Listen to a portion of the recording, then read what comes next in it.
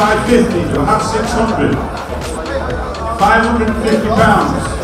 550 then, 600 pounds. 600. 600 pounds.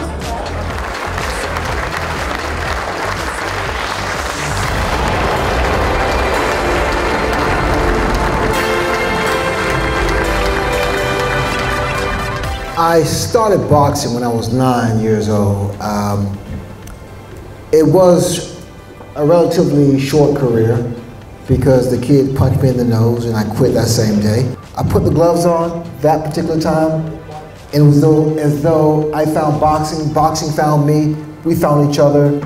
It was a perfect fit.